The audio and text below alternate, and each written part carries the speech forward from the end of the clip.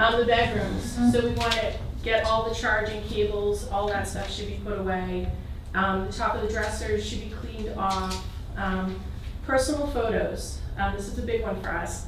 We don't like them in the house when we're getting ready to sell.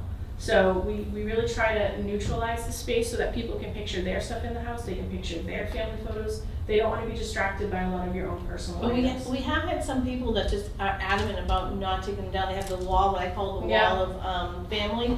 We will try not to shoot that, cause you don't want that on Zillow, and it will be there when people come in, it just is what it is. So if you are one of those people that have canvas going up your stairs with family photos and don't wanna remove them, we will shoot around that, but people will, you know, get distracted by that, so. And even under the bed, like this property that, um, we again sold in Westford, you notice, like, it's just photographed great, cause we all slide stuff under the bed, but they pulled everything out of the bed, so it looked, it just looked really nice.